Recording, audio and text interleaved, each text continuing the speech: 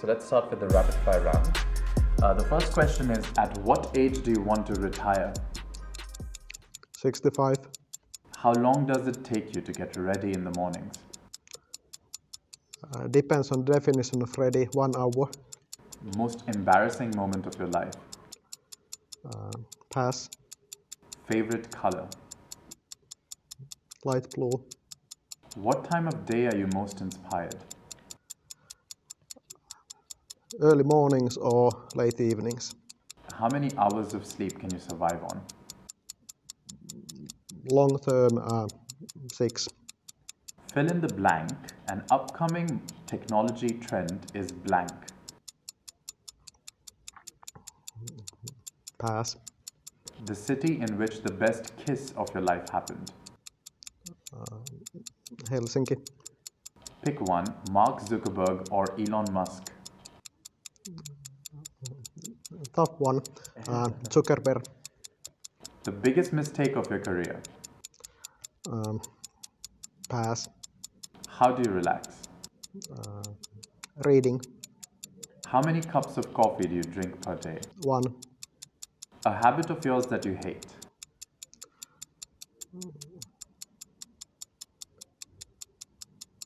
pass, The most valuable skill you've learned in life.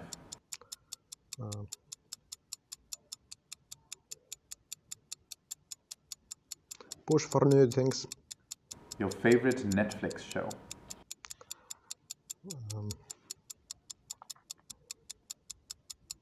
Witcher, One word description of your leadership style. Um, empowering. Top priority in your daily schedule. Get stuff done. Ideal vacation spot. Tropical sea with excellent diving. Uh, key factor for maintaining work life balance.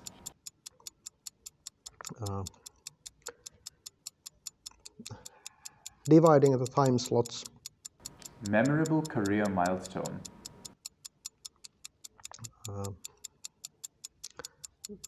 Product launches. The last song you've been listening to. Pass. The last movie that you saw that had a good impression on you. not sure of the good impression, but it was uh, Notre Dame something by Disney. All right. All right, no, we're very glad uh, today to welcome uh, Jukka-Pekka Salmenkaita, Vice President of AI and Special Projects at Elisa International Digital Services, a uh, company which may not be familiar to many observers, although presumably definitely familiar in Finland and Estonia. Let me start with that. Well, people might remember about- a month ago the submarine cable in the Gulf of Finland encountered problems. People thought it might have been cut by some uh, interfering power there. It turned out to be okay. Uh, I understand that submarine cable was, in fact, the ELISA cable. Is that right? Yeah, it was. And and things were okay. There was there was minimum or to no damage. Well, there was damage, but like uh, for the network operations, there was no no problems. Ah, there was damage, sort of like an amateurish attempt to try to do something. Uh, yeah. But it, it is true, is it not? You know, you, your operations are mainly centered in, in Finland and Estonia, but with uh, other locations around the world. What are your activities outside that main core?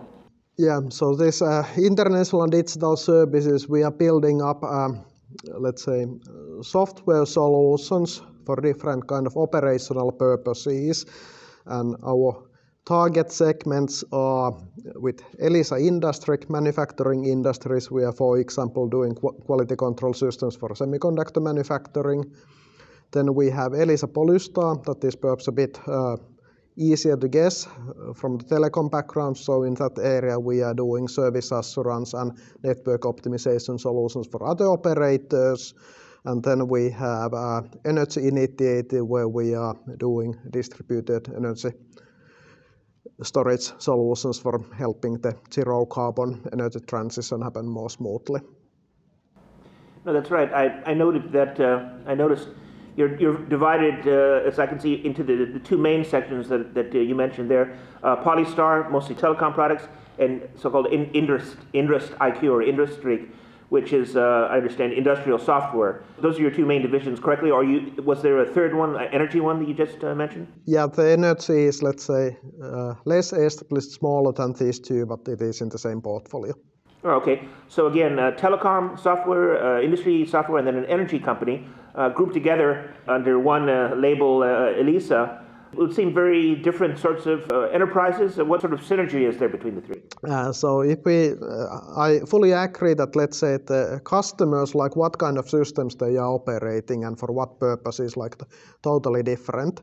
But if we look at from the let's say software and how the data is flowing, these are actually surprisingly similar. So all are handling very large scale time series, event series data that is coming from tens or hundreds or thousands or large amount of data points. They need to like figure out based on that very large volume of data, how the operational system could be further optimized, how to sort out different kind of problems, be it like deviation in the manufacturing quality or deviation in the network service quality or deviation in the energy market balancing service control system quality and so on. So like uh, from that perspective, like data handling and taking like the uh, good handle of the data, making sense of that, and then uh, doing the solutions that help the operators of those systems do better decisions faster, more automated. Like that is uh, more or less like the concept is same across these very very different customer industries. Okay, so there's those uh, similarities, but one one could speculate that uh, theoretically at least, uh, one of these divisions could be sort of spun off as its own company on the stock exchange or something. Wouldn't that still be possible? It's probably not what you're thinking about right now, but the structure seems set up for that sort of thing? Well, we are more on the acquiring side, but in, in principle, structure is such. Yeah, understand, right. Well, um, uh, zooming in in particular to Polystar, your telecom uh, products, there is a, a so-called uh, telco data platform which uh, is among your leading products. Could you describe uh, what that's all about, the telco data platform? Yeah, so like uh, traditionally, telecom operators have like more or less like taken from certain windows or set of windows the technologies, and as the operators like uh, want to fine tune their operations and make them like more and more smarter and towards the goal of having like self-driving networks it it's like from our perspective really imperative that you take the data away from the source system so that you can build build up the intelligence operations around that system. And the telco data platform is in a way is the first step for that that you are able to pull in the data across the different uh, uh, windows and across the different elements of the source and then you have like the baseline for which you can start to build up the automation and more intelligent operations. Okay, because our research indicated that uh, this, this is supposed to be uh, particularly strong when it comes to expanding or, or scalability as firms grow. How, how does that work? How does, how does scalability particularly addressed by the features of this platform?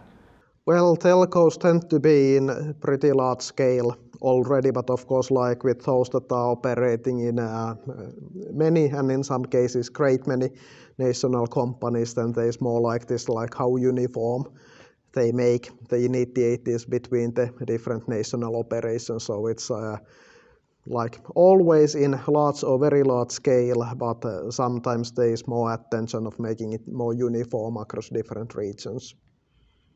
Okay. What sort of data analytics are provided to the customer as part of this uh, platform? Well, we have uh, both, uh, let's say, baseline capabilities like portals, ready-made applications for things like performance management, network operating center operations like handling and so on. So there are those kind of things. And then in addition, it's possible to build new views and build new capabilities. So it's like both, both pre-packaged and then more like a customized alternatives as well. And this customization might be happening with us or it might be happening with a um, customer's own own people or some third parties as well. What I hear then is it mostly pre-packaged, maybe tools or pieces that the customer can configure the way that that uh, he likes, and pre- presumably with, with, some good information and training initially from the Elisa side. Yeah, in a way, like uh, some pre-packaged capabilities to start easily with. Okay, and then uh, they they take it from there according to their imagination, how they want to put together and build those tools. Correct. Okay. Uh, well, uh, going to your, your own background, very interesting background before you, you ever uh, showed up at Elisa. I understand uh, founded uh, two startups on your own. What were those uh, all about? we were doing recommendation systems for the media industry and well for tele- telecom operations as well. okay, I'm sorry. recommendation systems? Yeah. Ah, interesting. For for the telecom industry. Uh, well, for the media industry, but like it was related for the telecoms as well. Well, telecoms and media are every now and then interlinked. So collaborative filtering and those kind of. Oh, collaborating filtering rec- recommendation on a on a business to business level, so helping business leaders make better decisions. That was more on the business to consumer side. Oh, so okay. we were building up the recommendation engines for the consumer services as well. Okay. And uh, also, we saw on your CV, uh, head of, of, the connected home. Uh, was that uh, a project within Elisa? Well, you, you, were there by then when you were. No, no, that wasn't the Nokia years. So that was the time of the let's say early rise of the smartphones and building up the ecosystem for the smartphones to be interacting with the TVs and stereo systems and so on. So like, but that was ages ago. At that point of time, it was new. Nowadays, it's taken uh, for granted since it is like widely deployed pretty much with each and every high-end music system and each and, each and every TV system. Okay, but that was a title of yours within the Elisa corporate structure, or was, or was this another one of your, your startup uh, efforts? No, that was on uh, Nokia that was Nokia. Okay, so you were uh, for, for a while there before Elisa, you were working with Nokia. Yeah. Um, uh, one thing uh, I also saw was that uh, Elisa has uh, has won a Finnish award for uh, the Sustainable Brand Index winner. In fact, for the, the third, or at least the third, or maybe fourth year in, in a row, reflecting your efforts in sustainability. And could you go into that? Uh, what what you do with sustainability that uh, that makes you such an outstanding company to to pick up these awards? Well, I think there are like many, many different angles here, but like I focus on the energy side because that is a, a very, uh-huh. very, very big part of like where the carbon dioxide side is coming. So like fundamentally like what telecom operators are doing, they are spending energy to transfer information. That's like the pretty boring like physical explanation about what operate operators are doing. But then like what needs to be done like in that area like the things that we did already several years ago is to like upgrade the energy purchasing policy so that you are having the renewable sources in the purchasing and you can have like the guarantees of origin and so on for that. But then you should like also minimize the consumption of the energy so doing the all the capabilities of the hardware, especially on the radio network side, and further optimizing that so that we have been like doing for quite many years, both like together with the vendors and then some extra optimization on top so of that on our own. Cutting down energy consumed. Yeah, like making sure that it is used. And it's also important to upgrade to the new technology generation both on the fixed side and then on the mobile side since the energy efficiency with optical is significantly better than with copper and with the 5G it is significantly better than 4G let alone 3G so like important to like keep the pace and like uh, shut uh, shut down the old technologies as early as possible to like have the consumption.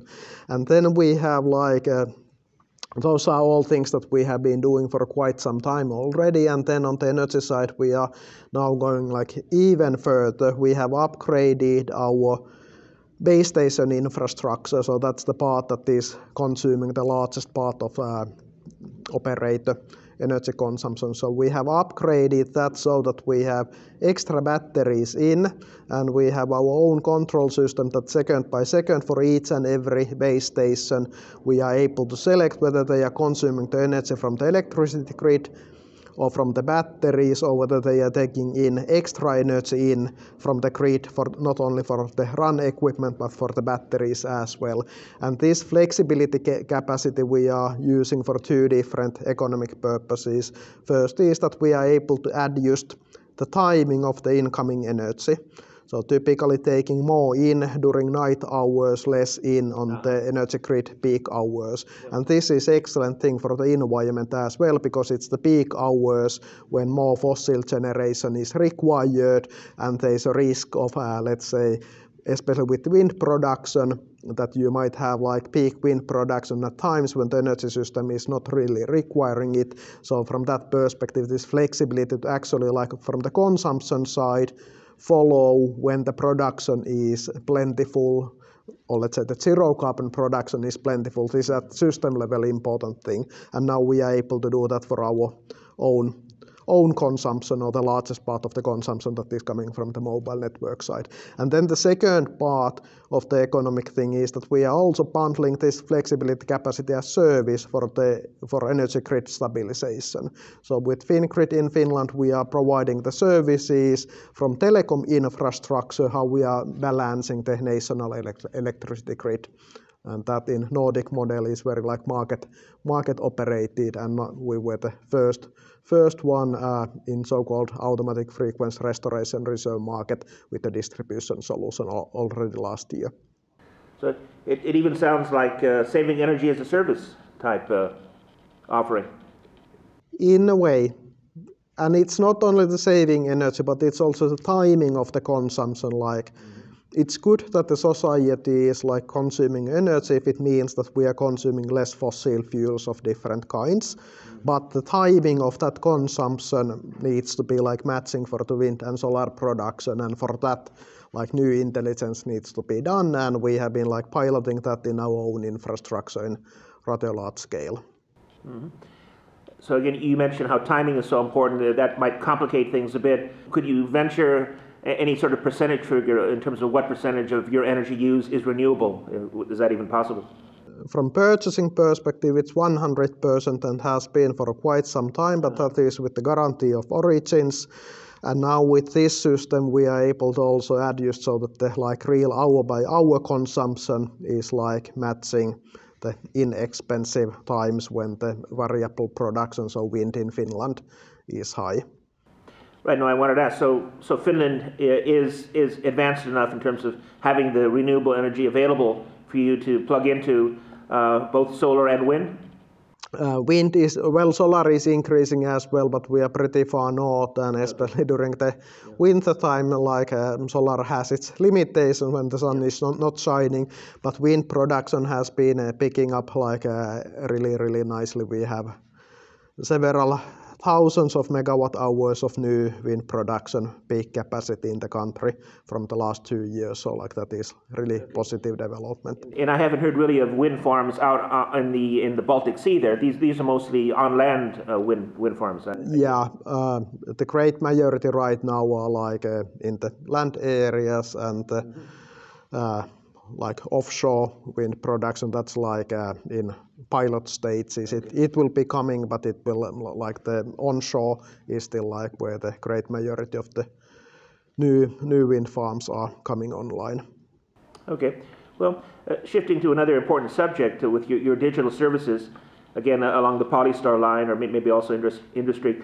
Uh, the question, of course, of cybersecurity, of uh, ensuring your customers are not hacked. What are your measures uh, to assure them on that score to maintain the security on the uh, on the networks that you uh, control? That's an excellent topic. We don't have that as a let's say separate product line or anything like that. It is more like in all the service areas and all the solutions areas where we are working, it tends to be like critical infrastructure at the national level. And from that perspective, like uh, giving our heritage that like we are coming from operating the critical infrastructure, of course we want to bring that same same best practices and even improve those than when we are working with the customers. But it's not like a separate business, it's more so that it's super important aspect uh, of pretty much all all three on, on, on the manufacturing industry, like they have very high security concerns. The operators is like well known that it is nationally critical infrastructure. And then on the energy, we are in a way at the intersection of the nationally critical energy infrastructure and nationally critical telecom infrastructure. So security is um, well key. Right, right. And uh, you know, related to that, although different, I think, is the question of stability, making sure that your network just simply you know doesn't go down at all. Uh, and uh, you know, how do you build that in? It must be a similar approach that what you just described in terms of not, not a special thing, but built into every aspect of your operations. Yeah, of course, it's also related on the physical physical items. So, for example, if we discuss this uh, radio network, Elisa's radio network is also used for government services like border guard, police, fire brigades, those kind of things. And in that area, like if, for example, there's a big winter storm that is like uh, breaking out the um, electricity grid distribution in potentially large parts of the country, well, the mobile connectivity is essential to coordinate the corrective actions. So in a way, like if the mobile part is shut down, it will make the correction of the electricity grid so much harder to coordinate and probably quite a lot slower as well. And from that perspective, uh, we do pay a lot of attention both like on the control capabilities and also on the physical hardware that we have for the backup purposes. But of course, this is only one example, but that is like a key, key for the uh, mobile infrastructure. There are like other parts of the resilience that, that need to be like tackled in different other areas. No, precisely, especially for, for public uh, customers, security, that sort of thing, you, you have especially uh, uh important uh, role for stability. You know, what, did, what is the extent of your, of your public sector contracts in, uh, in Finland and Estonia or even beyond? Uh, what, what part does that make? What, what fraction of, of your business uh, is, is for public uh, instances like that? Uh, let's skip this because this is like more for the telecom operations on that side it is like very big and so on but for the IDS part not so this is kind of from IDS perspective a bit like okay. sidetrack Sure. Or let's say they are like um, on the Elisa Polystar side, they are like aspects, but let's skip this is a bit like. Okay. Well, again, you're you're uh, vice president of AI and special projects, and, and you're you would be especially the person to ask to look into the future about the new technologies coming down online, uh, from of course uh, 5.5G or advanced 5G, or to the, the telco take up of, of new innovation and, and artificial intelligence itself. What how does the future look to you as, uh, as the special projects uh, VP within the company? Well, from the AI perspective, I think we have even more opportunities around now than we ever had earlier, and it was not like boring times even earlier. Now it's getting even more exciting. But uh, I think it's like a slight difference that from the communication perspective, that is in a way a bit like saturating. Like the what 5G is able to deliver starts to be like sufficient or what like optical fiber is able to deliver that starts to be sufficient for great majority of things. But then like when you can take excellent connectivity as granted then you can start to build up more value like on top of that. And i think this is like a big shift that it is important to not only delve deep into connectivity items and how that can be further in, in, enhanced from the fifth generation to the sixth generation but also to like look the right way what are like the total like solution possibilities and then in in those areas ai is typically a key enabler. Okay so it, it sounds like that uh, you're getting enough, even with 5G, you, you're not so much in a hurry then to introduce the so-called advanced 5G or 5.5G coming down the line? Well, we are pushing for the envelope in that area, but I don't think that that's the bottleneck for most things. Like the bottlenecks are elsewhere, and from that perspective, it's really important to like look at the whole technology stack, what is required for the solutions, not over focus on the connectivity layer only. Okay. And, and uh, broadening out to, uh, to Finnish and Estonian telecoms in general, because of course you have uh, competitors there, Um, there is the sector in general very receptive towards uh, uh, towards taking advantage of new uh, technological possibilities. Um, I I would say well there's also evidence like in these markets that like all three have been very active in many fronts of the digitalization. All three, you, are you talking about the three components of, uh, of the company? Uh, all, all, all three, like if you're speaking about the operators. oh, there, there, are three separate operators in Finland, right? Yeah. Okay. Yeah, so like all operators are heavily engaged with the customers on different parts of like how to make di- digitalization mm-hmm. smoother. Of course, like different emphasis with the different operations. This is good for the competition, but all in all, I think like the operators are well received to be more broader digitalization partners than the connectivity layer only. Oh, okay. And you know, government gets a say in this. Uh, what's your attitude towards the support offered by the, the two national governments, or maybe even the EU, in encouraging and supporting, maybe even financially, this this uh, technology take up? Well, I think there are like few few items, and if I a bit like overemphasize the energy side, since there's like so urgent need for the energy items. First is like the government needs to make sure that like the field is open for competition.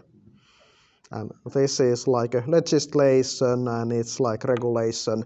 Is to really make sure that like, and especially in the energy side, there are still like possible monopoly structures and not all like parts of the energy market are really open for competition and so on and really making sure that like the competition friendly legislation is actually in place and it is also like enforced. That is like definitely something that the government and no one else can do.